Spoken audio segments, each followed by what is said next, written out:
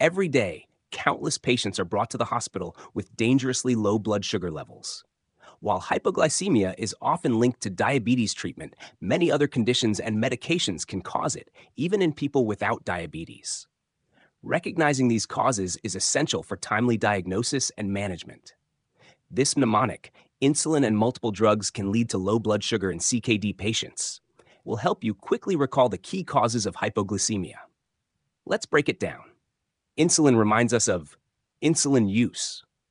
One of the most common causes of hypoglycemia is exogenous insulin, especially in diabetic patients who take too much insulin or miss meals. And relates to alcohol binge. Excessive alcohol consumption, particularly binge drinking, suppresses gluconeogenesis in the liver. This effect usually takes days, also leading to prolonged hypoglycemia. Multiple makes us think of malaria and its treatment. Some antimalarial medications can cause hypoglycemia by increasing insulin secretion or impairing glucose production. Drugs refers to drugs that lower blood sugar. Several medications are linked to hypoglycemia, including sulfonylureas and meglitinides, increase insulin secretion. Fluoroquinolones, ACE inhibitors, beta blockers, interfere with glucose metabolism. CAN connects to critical illness and ICU conditions. Severe illnesses like septic shock, ICU stays, and mechanical ventilation impair glycogenolysis and gluconeogenesis, increasing the risk of hypoglycemia. LEAD brings to mind liver dysfunction. The liver plays a key role in maintaining blood sugar. Liver disease disrupts glycogen breakdown, glycogenolysis, and glucose production, gluconeogenesis. 2 reminds of tumors. Some non islet cell tumors produce insulin like growth factor, IGF, which mimics insulin and further lowers glucose levels. Low suggests low cortisol Addison's disease. Cortisol helps maintain blood sugar levels.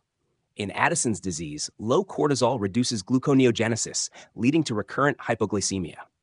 Blood reminds us of bypass surgery, gastric bypass. After gastric bypass surgery, some patients experience postprandial hyperinsulinemic hypoglycemia, where excessive insulin release after meals leads to blood sugar crashes. Sugar is linked to sepsis. Severe infections can trigger cytokine mediated suppression of gluconeogenesis while increasing glucose utilization, causing hypoglycemia. And IN represents insulinoma, a rare but significant cause of hypoglycemia, insulinomas that produce excess insulin, leading to persistently low blood sugar levels. HAT-CKD stands for chronic kidney disease. In CKD, insulin clearance is reduced, meaning insulin stays in circulation longer, increasing the risk of hypoglycemia. Additionally, gluconeogenesis is impaired, worsening glucose regulation. And patients relates to prolonged fasting and malnutrition, Severe GIR malnutrition or prolonged fasting depletes glycogen stores and reduces gluconeogenesis, making hypoglycemia more likely. Recognizing the causes of hypoglycemia is essential for diagnosis and treatment. This mnemonic, insulin and multiple drugs can lead to low blood sugar in CKD patients, covers a wide range of conditions that can result in dangerously low glucose levels. If you found this helpful, share it with others.